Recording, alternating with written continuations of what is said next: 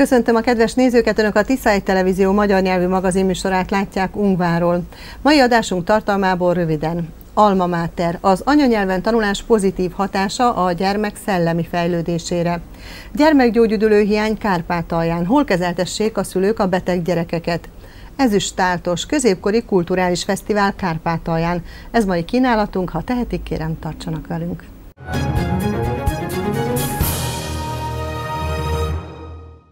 A kárpátaljai magyar szülők számára sokszor nagy dilemmát jelent, hogy milyen tannyelvű oktatási intézménybe irassák be gyermeküket.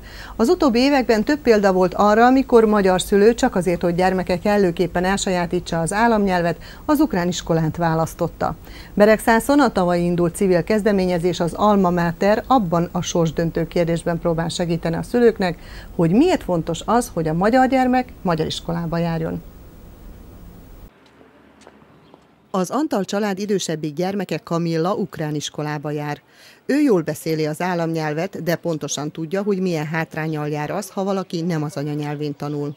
Azt hiányzik nekem, hogy többet szeretnék tudni a magyar történelemről, meg szeretném, hogyha a mi iskolánkban is tanítanák, az, úgy értve az ukrán iskolában, meg több barátom tanul magyar iskolában, és ők is amikor vitatják ezt a, a történelmet, mármint a témát, akkor én nem tudok hozzászólni, mert egyszerűen nem tanulom. Antalék a kisebbik gyermeküket mint már a magyar iskolába adták. A magyar iskolákban, ami nekem jobban tetszik, többet foglalkozik a szellemi, a lelki táplálék. Talán jobban megkapják a gyerekek, mint az ukrán iskolákban. Az iskolapszichológus szerint, ha a gyermeket akaratán kívül egy számára ismeretlen nyelvű oktatási intézménybe adják, akkor sérülhet az identitás tudata. Szerint egy embernél, hogyha megpróbáljuk a, az identitását felépíteni, az mindenképpen a gondolkodás és a személyiségen keresztül. Most a gondolatoknak a kifejező eszköze szó szerint tár, nem is tárja, inkább eszköze, az maga a nyelv. Tehát véleményem szerint, hogyha hat éves koráig egy gyermek magyar közösségben, magyar közegben nevelkedik, ott szívja magában a tudást, magát a, a nyelvet, akkor utána ennek a az elmélyítése, mondhatnám így a tanulás, tehát az egész világnak az elsajátítása, az jó lenne, hogyha magyar nyelven történne. Hiszen hat évesként, tehát egy mondom teljesen magyar közegből egy ukrán közegben találva magát, szerintem nagyon elveszettnek érezheti magát. És az elvezettség érzése, az elbizonytalanodás az mindenképpen bizonyos fajta szorongást szülhet a gyermekben, ami aztán továbbadódhat az életére. Érdekes módon, hogyha azokat a gyermekeket figyeljük meg, akik ilyen kettős közegben nevelkednek, értem ez alatt, hogy odahaza egy identitást, máshol pedig más közegben egy másik identitást kell, hogy képviseljen, akkor valahogy kisgyermekkorban feltéve azt a kérdést, hogy akkor kinek is vallod magad, nem igazán tud rá válaszolni, hiszen éppen egy, egy vonalnak, egy határnak a kellős közepén találja magát, se ide nem dől, se oda nem dől, tehát nem igazán tudja eldönteni. Tehát véleményem szerint a, az igazán erős személyiségnek vagy identitásnak a felépítéséhez hozzátartozik a saját anyanyelven való ö, oktatás, hiszen az nagy mértékben segít eligazítni ebben a világban, és megkönnyíti a gyermeknek az életét, hiszen olyan alapvető dolgokat, amit már hat éves koráig, tehát iskola kezdésig megtanult, azt nagyszerűen tudnak kamatoztatni majd az iskolás éveiben. Tehát ha egészséges, erős személyiséget szeretnénk, akkor én javasolnám azt, hogy a gyermekek anyanyelvükön tanuljanak, és ezt nem csak a magyar diákokra, ugyanígy javasolnám az ukrán, az angol, a szlovák, a román, tehát bármilyen világra, vagy bármilyen anyanyelvű gyermekről legyen szó. Kárpátalján a kötelező ukrán nyelvű emelt szintű érettségi bevezetését követően a jobb érvényesülés miatt sok magyar szülő ukrán iskolába iratta be a gyermekét. A felvételin ugyanis a nemzetiségi iskolák végzőseinek ugyanannyi pontot kell elérniük, mint az ukránoknak. Attól kezdve érezhető az, hogy az oktatási intézmények minőségénél sem az számít, hogy a gyermekek tudása bizonyos szaktárgyakból milyen színvonalon van, csak az számít, hogy a gyermek tud-e ukránul vagy sem. És ezt erőteljesen közvetítik ugye a hivatalokba is, és eljutottunk odáig, hogy tehát ez egy közhangulat lett Kárpátalján, és ez a közhangulatot érzékelik a kisebbségi magyarok. A Beregszászi Kossuth Lajos magyar tannyelvű középiskola tanárai járják a várost és minden iskoláskorú magyar gyermek családjához bekopogtatnak. Van-e iskoláskorú és hogy hová iratják A Beregszászi Magyar Oktatási Intézmény igazgatója azoknak a gyerekeknek a listáját mutatja, akiket a szüleik már beirattak az iskolába. Eddig összesen 30 gyermek van a két osztályban. Az igazgató szerint az ukrán nyelvet a nemzetiségi iskolákban is el lehet sajátítani. Iskolánk idén október 5-én 110 éves évfordulóját ünnepli. Ez az iskola mindig is iskola volt, tehát kezdte elemi iskolával, később általános iskola lett, aztán középiskolává alakult, és a mai napig is természetesen középiskola. Mióta középiskola? Mi, mióta középiskola? 1958-tól, ha jól emlékszem középiskola. Mikor volt a legmagasabb itt a gyereklétszám, amire visszaemlékszik, illetve jelenleg mennyi, és mikor volt a legkevesebb? 1997-ben jöttem ide dolgozni ebbe az iskolába, és a 98-99 2000-es években voltak a legtöbben. 600 és 700 között.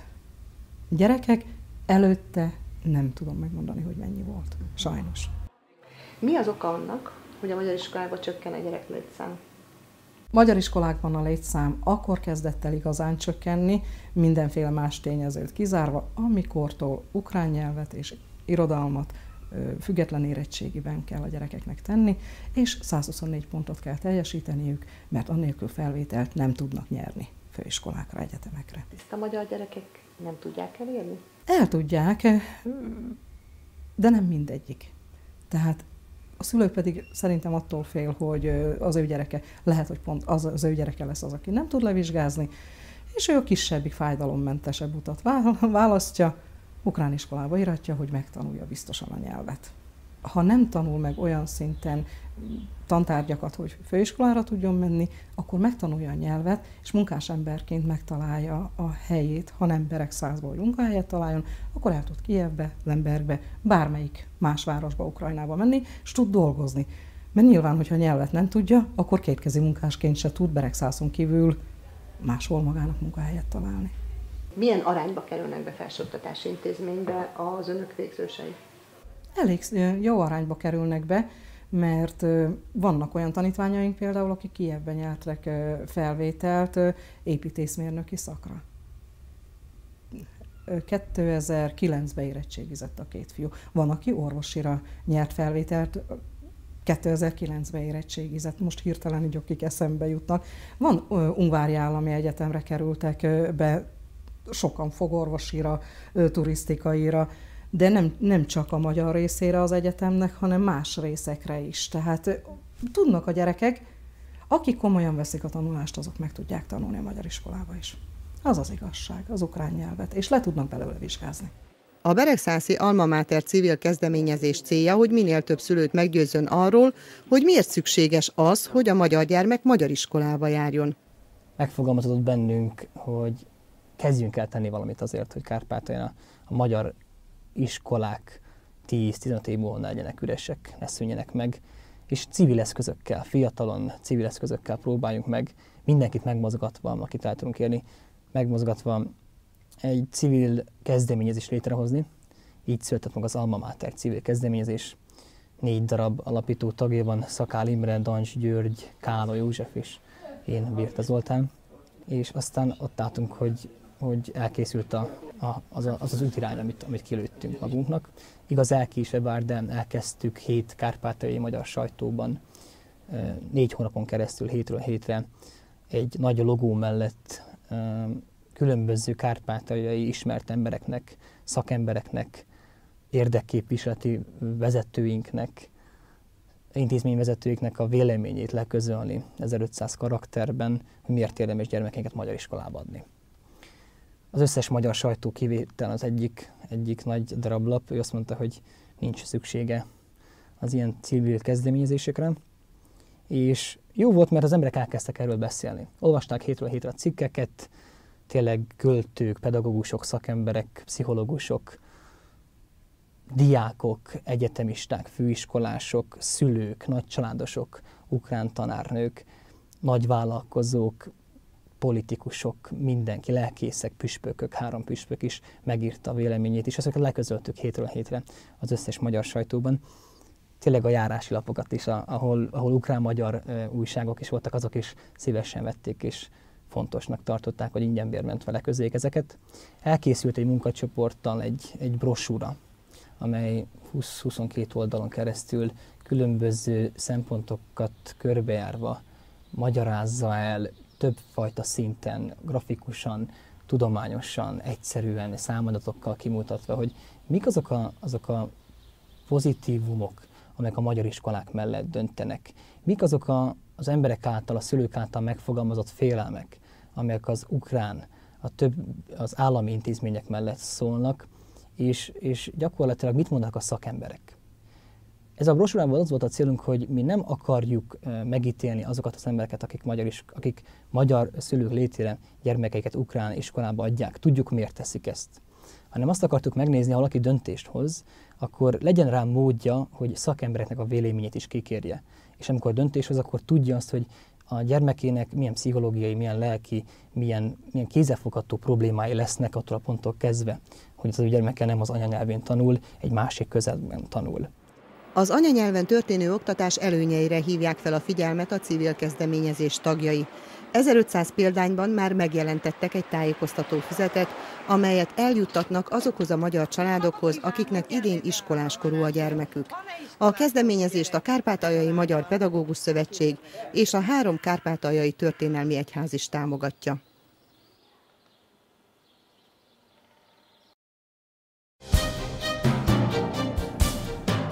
Nézőpont. Politika, gazdaság, oktatás, szociális problémák és egészségügy, aktuális események, kérdések, amelyek leginkább foglalkoztatják a kárpátaljai magyarságot. Beszámolók eseményekről és riportok emberi sorsokról, összefogásról, amely életeket változtathat meg. A hét minden napján azon dolgozunk, hogy önök első kézből értesüljenek a régió legfontosabb eseményeiről. Nekünk fontos az önök véleménye. Nézőpont. A Tisza Televízió magyar nyelvű közéleti magazin műsora. Hiány van gyermekgyógyüdülőből Kárpátalján. A megyében csupán a légzőszervi beteg gyermekek gyógyítására alkalmas szanatórium működik, miközben az utóbbi időben egyre több az idegrendszeri és ortopéd betegségekkel küzdő kiskorú, akiknek szintén fontos lenne szanatóriumi gyógyterápián részt venniük. Az ilyen üdülők többsége azonban a Krimfélszigeten van, ahová csupán az úti költséget a legtöbb kárpátaljai szülő nem tudja megfizetni, ezért sorra mondják le a drága beutalókat. Míg más gyermek futkoshat, focizhat, addig Rickó Lacikának megterhelő játékokat nem szabad játszania. Nekem szabad tornálni, csak szaladni nem, mert, mert, nem, mert nem szabad, hogy, hogy a lábam kificsamodjon, mert akkor mm, a helyére kell tenni a csontot. Vagyis a csontom el van a helyéről mozdulva. A kisfiúnak születése óta csípőízületi betegsége van, aminek a gyógyítása hosszú évekig eltarthat. Emellett fontos lenne, hogy a gyereket nyaranta rehabilitációs üdülőben kezeljék. Gyógykezelésére alkalmas szanatórium viszont nincs Kárpátalján. Évben egyszer nagyon jó lenne valamilyen gyógyszanatóriumban, és itt a környéken, legalábbis Kárpátalján nem tudunk róla, hogy lenne ilyen létesítmény, és messzebbre elutazni, azt pedig nem engedhetjük meg sajnos magunknak, hogy igénybe vegyünk. Hát ezer kilométerekre nem tudnánk elmenni, hogy, hogy a gyereket kezeltessük. Ráadásul ha jól tudom, akkor szülők nem is tartózkodhatnak a gyerekkel, ilyen intézményekben a gyereket ott kellene hagyni. A gyermekizületi betegségek gyógyítására alkalmas üdülő a kárpátaljai gyerekek számára legközelebb mintegy 1500 kilométerre található. A több mint 200 ezer forintos beutalót bár az állam ingyen biztosítja, de az úti költség oda-vissza 80 ezer forintnak megfelelő krívnya, amit a legtöbb család nem tud megfizetni. Az Ungári Gyermekpoliklinikán a gyermekorvos azoknak a listáját mutatja, akik lemondták a beutalót a gyógyüdülőkbe. Pedig az orvosok szerint a gyermekek kórházi kezelése után fontos lenne a szanatóriumi rehabilitáció. Az utókezelés elősegíthetné a gyermek teljes felépülését. A gyógyszanatóriumokban ugyanis olyan speciális fizioterápiás kezelést, illetve iszapkúrát, masszást végeznek, amit máshol nem. Kárpátalján az utóbbi években a gyermekbetegségek számát tekintve az ortopéd, az idegrendszeri és a pszichés megbetegedések a tizedik helyről a harmadik, negyedik helyre kerültek. Ezért is lenne fontos, hogy a megyében létesítsenek az ilyen betegségek gyógyítására alkalmas üdülőket. Kárpátalján nagyon sok szanatórium van, de nagyon kevés a gyermek szanatóriumi ágy.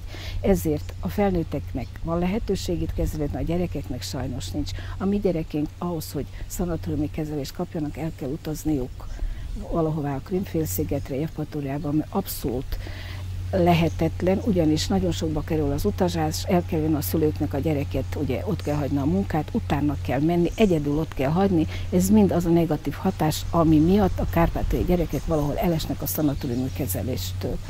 Kárpátalján jelenleg egy gyermekgyógyüdülő van az Ungvár melletti Onokócon, ahol a légzőszervi betegségeket kezelik. A főorvos szerint fontos lenne, hogy a helyi gyerekek gyógyüdülését a megyén belül oldják meg.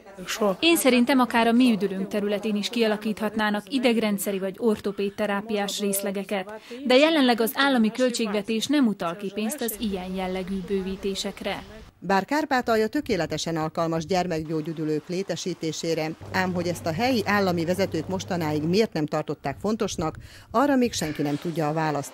Viszont az egészségügyi szakemberek szerint egyre égetőbb szükség lenne speciális gyógyüdülőkre, hiszen a megyében jelenleg minden ötödik gyermek esetében elengedhetetlen lenne az utókezelés.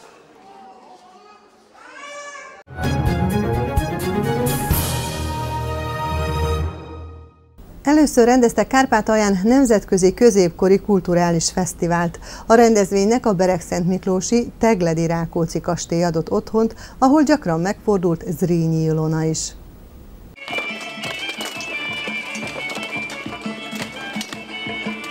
Mintha a 15. században járnánk. A Beregszent Miklósi kastély udvarában középkori fesztivált rendeztek ezüstáltos néven.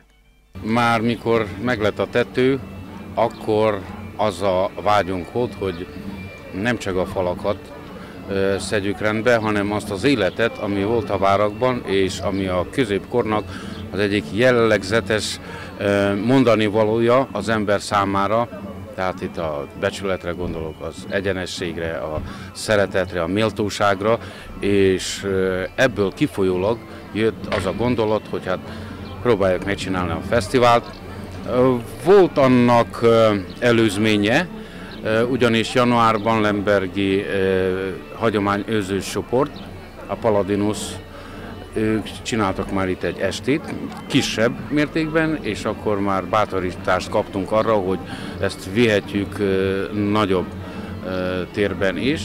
Most tehát megtörtént.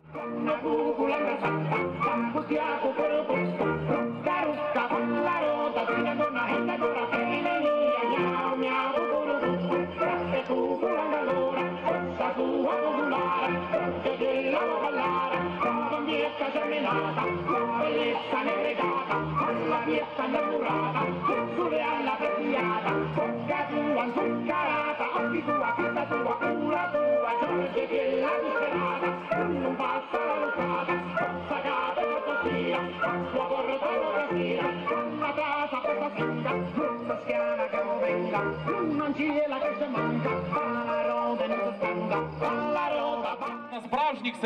rendezvényre hat ukrajnai és egy szlovák lovagrend is érkezett. A munkácsi veremi, vagyis sárkány rend, az velünk már egy éve közreműködik, és ők hívták meg a többieket, mi pedig a Magyarországról a Mara Temporis nevű hagyományőrző csoportot Budapestről hittük meg. Hisz nem lett volna teljesen rendezvény magyarországi résztvevők nélkül. A csoportról azt lehet tudni, hogy 2001-ben alakult, egy baráti társaságból, akik szerették volna szép ruhákban, szép táncokkal a hagyományokat őrizni, európai reneszánsz és barokk hagyományokat, és azóta jelentősen kibővült a taglétszám, körülbelül már 50-en vagyunk, és legalább 8 fajta mesterséget űzünk, úgy, mint a reneszánsz tánc, barokk tánc, középkori vívás, reneszánsz vívás, tüzes mutatvány, utcai mutatvány, hastánc, íjászat. És amivel érkeztünk, azok reneszánsz polgári táncok, ugye rajtam egy egyszerű polgári öltözék van, és ez így egy ilyen pajkos vásári mulatság néven fut, a köznépnek a szórakozását, a táncait, az apró kis tréfáit mutatja meg, és a másik műsorunk pedig egy udvari tánc, díszes reneszánsz ruhákba, az előkelő nemességnek a táncait fogjuk még majd megmutatni. Szoktunk külföldön fellépni, természetesen ugye több az anyaországi fellépés, de Ausztriában is jártunk, Szlovákiában, igazából mindegyik környező országban, mert Szlovéniában is, most éppen a csapatunk másik fele Horvátországban van, Sveta Helenában egy középkori fesztiválon, tehát a páncélos csapat éppen ott teljesít. Voltunk már Szatmár Németiben, Romániában is, itt még nem jártunk, úgyhogy ezért is gondoltuk, hogy egy, egyrészt, hogy ezért is fogadjuk el ezt a meghívást. Mi azt tapasztaltuk, eddig akárhányszor jártunk a határon túlon, akár a Vajdaságban, akár Szlovákiában, hogy nagyon nagy örömmel, meg én azt tapasztaltam, hogy tisztelettel fogadják az anyaországi magyarokat, aminek az a hatása, hogy ugye mi is szeretnénk teljesíteni. Meg tény, hogy mi nem feltétlenül magyar reneszánsz hagyományokat őrzünk, hanem európait, de ezek az öltözékek a Mátyás korabeli időszaknak is megfelelnek, tehát az egy fontos küldetés ennek az egésznek, hogy nem csak a magunk szórakoztatására csináljuk, hanem ez kicsit ez a, egy élő történelem óra, táncokban, meg dalokban elbeszélve, és van egy felelőssége is annak, hogy hiteles anyagot közvetítsünk az emberek felé. Ha rám néz valaki, akkor én meg tudjam mondani, igen, festmények alapján készült a ruhám, és akkor az adott kislány el tudja képzelni, hogy hogy nézett ki egy polgárasszony mondjuk Hunyadi Mátyás időszakában. Tehát ez felelősséggel, és ezért fontosnak tartjuk, hogy minél több helyre eljuttassuk ezt, meg persze szeretjük csinálni.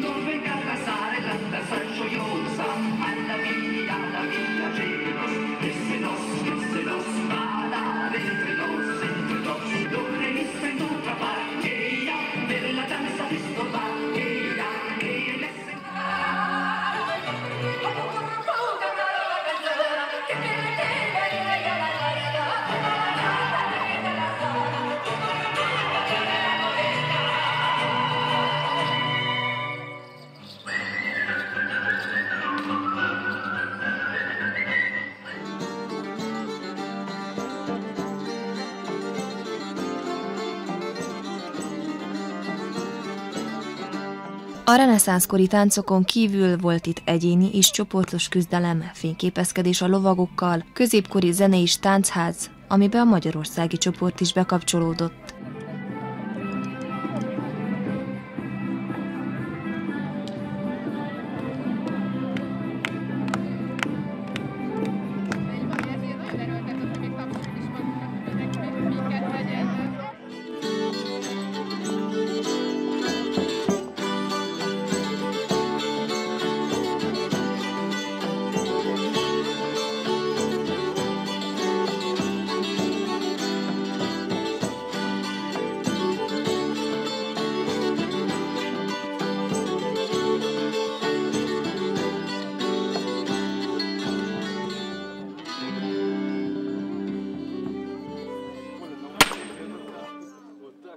Középkori hangulat a várudvarban, de mit is lehet tudni a várról? 1450-ben építette a Perényi család, utána Telegdi János lett a házura. A több magyar nemes család tartózkodott itt, többek között Frangepán, Loranfi Zsuzsanna, Pálfi, Eszterházi, Druget, Nyári István, 1600-as években pedig első Rákóczi Ferenc vagyona. Utána feleségére Ilonára szállt. Azzal nevezetes ez a várkastély, hogy Ilona asszony, itt találkozott először jövendőbeli férjével, gróf Tököli Imrével. Itt volt az a titkos találkozás, ami hamarosan menyegzővé változtatott. Utána jött a szomorú sors, Ilona véte a munkácsi várat, Imrét pedig fogságba vitték Törökországba, de hát aztán megint egybe, egybe keltek, és az a legfő vágyunk, hogy azt a szobát, ahol volt az a találkozás, helyre szedjük, és azoknak a fiatal pároknak, akik már esküvői berzéseket csinálnak nálunk lent a múzeumban, szimbolikusan néhány alkalomra átadjuk, és ezzel az a szándékunk, hogy annak a nagy asszonynak az emlékét megóvjuk, és aztán gondolunk arra is, hogy az a fiatal pár, amik majd elhagyja azt a szobát, magával visz legalábbis a tudat alattiakban kisebbeket, de nagy fogalmakról. Hát olyan, mint a valódi szeretet, hűség, ember szeretet, haza szeretet, lehet, hogy ezeknek a szavaknak ma nincs is jelentősége, de ilyen fogalmak nélkül az emberiség jövője igen-igen szomorú lesz. Az ide látogatók a felelevenített középkori életen kívül megcsodálhatták a kastély belsejét is, a fesztivál bevételét pedig a külső felújításokra fordítják majd.